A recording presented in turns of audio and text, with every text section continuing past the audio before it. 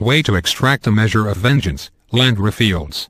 That'll teach LeBron James to summarily dominate the proceedings, averaging 27.8 points, 6.2 rebounds and 5.6 assists per game and posting a player efficiency rating of 30. Remember, average is 15, so that's, like, real good, like some kind of big shot while the rest of us 9 to 5 or Nicky are unfairly oppressed into quietly scoring 7 points per game and turning the ball over 21% of the time.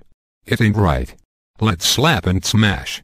It's like the old adage says, if you can beat them, and clearly, the New York Knicks couldn't beat the Miami Heat on Wednesday night, then take out your frustrations on their faces.